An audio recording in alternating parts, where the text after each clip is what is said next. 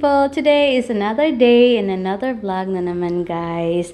Nandito ako ngayon sa Dumaguete Port kasi nga guys, papunta kami ni Mr. sa Siquijor Island. Uh-huh.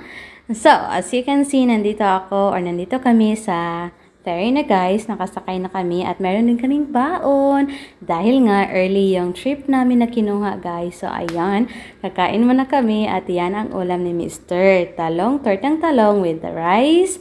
At ako naman guys, chicken fried or fried chicken with rice ang baon ko guys. O, diba? So guys, tinapos ko lang yung pagkain ko guys. Kain lang ako ng kain dyan. At nag-ask ako kay Mr. na kung pwede, kunan niya ako ng short video para naman meron akong konting exposure, no?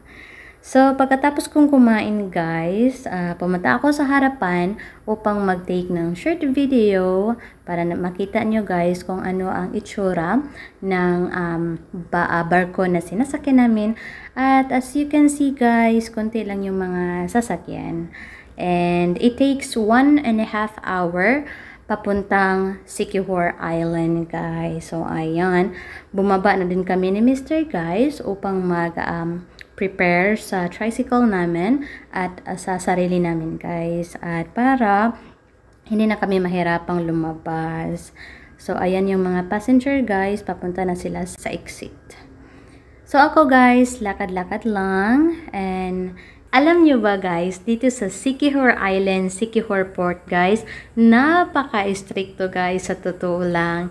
Dahil merong isang announcer dyan guys, na mag-a-announce kung ano ang kailangan nyo bago kayo pumasok sa island. So ako guys, natatakot ako, baka wala kaming um, mga mga kailangan nila guys. So ayun, yung hiningi lang nila guys ay yung mga valid IDs at saka vaccination card, guys. So, swerte namin, guys, nakapasok dahil meron kaming mga IDs. So, ayan, guys, si Mr. at ako, napakasaya naman. Pero bago yan, guys, huminto muna kami dito sa auto shop, guys, dahil nga, napansin ni Mr na ang battery namin guys sa tricycle ay not in good condition. So, pinalitan namin ng bago dito sa Sikihor guys. So, ayan. Pagkatapos pinalitan namin guys, nagsimula na yung journey namin. Papuntang resort guys. Mm -hmm. But, nag-stop kami dito sa tinatawag nila na I love Sikihor signage para mag-take picture. Mm -hmm. So, as you can see, si Mr. Ready talaga si Mr. all the time pag nag-take ako ng picture sa kanya. Pagkatapos yan, guys, dito naman, guys, meron silang tinatawag na small Boracay. O, or tinatawag nilang little Boracay, guys. Ito ay tinatawag na Paliton Beach at hindi ito malayo sa tinitirhan namin. So guys, dahil sinama namin kayo dito sa Siquijor Island guys, sa journey namin, ipapakita namin guys kung gaano kaganda ang Paliton Beach dito sa Siquijor guys. Wala silang entrance dito guys. Pwede kayong maliko dyan ng free at wala kayong babayaran. At meron din silang mga tindahan dyan, pwede kayong bumili ng mga pagkain nyo or mga inumin kung gusto nyo guys. And ayan lang guys, nag-take lang kami ng short video ni Mr. dahil nga maganda talaga ang dagat guys, lalo na yung weather today. Ayan. So guys, ginawa akong background ni Mr. guys sa pagsiswing niya guys. So tingnan niyo naman, napakasaya ni Mr. At syempre ako, masaya din ako guys dahil masaya yung husband ko. Actually guys, first day pa namin dito guys ha, at yan na yung ginawa namin guys. Hindi namin sinayang yung araw na nandito kami. Kasi nga, 3 days lang kami dito guys at 2 nights. So yan na yung ginagawa namin. But thankful kami guys kasi merong uh, young men dyan na libre guys na walang ginagawa. Um, siya ang nagkukuha ng video namin ni Mr. At syempre, binigyan din namin siya ng konting pera para naman masaya siya guys, no?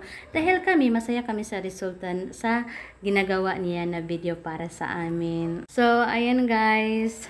Tingnan niyo naman guys kung gaano ako kaganda dyan. Nagustuhan ko talaga yung pagsiswing ko dyan guys. Oy. At Thank you kay Kuya kasi maganda yung kuha niya na video guys. As in, marunong talaga si Kuya guys. Actually, hindi kay hindi sila nagbibigay ng price guys kung uh, kung magkano ang ibibigay mo sa kanila. Ikaw na mismo ang magbibigay kung paano at kung magkano ang ibibigay mo sa kanila guys. At makikita niyo naman kung gaano kaganda yung nakuha nila na picture at alam na alam nila guys kung paano, kung saan sila magkuha ng picture at mag-video guys. To be honest guys, nagustuhan talaga namin ang video na nakuha ni Kuya guys. Thank you Kuya sa pagkuha ng magandang video. So, hindi kami nakatiis ni Mr. At ayan, naligo na kami na guys at um, i-enjoy namin yung araw na ito kasi nga maganda ang weather at um, ayan lang dahil kami lang dalawa ni Mr. Nagsariling sikap ako sa pag-take ng video at gumawa ng moment namin ni Mr. guys.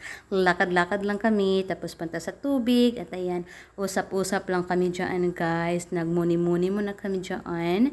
At hindi nagtagal, umahon din kami guys kasi nga para i-turn off yung cellphone. Wala kasi kaming kasama guys no, kami lang dalawa ni Mr. So, sariling sikap lang kami sa pag-video namin ni Mr. guys. So, ayan guys, if you like this video guys, please don't forget to like, subscribe, comment, and click the bell button para guys ma-notify kayo sa bago naming video. At guys, see you to our next vlog. Thank you for watching. Bye!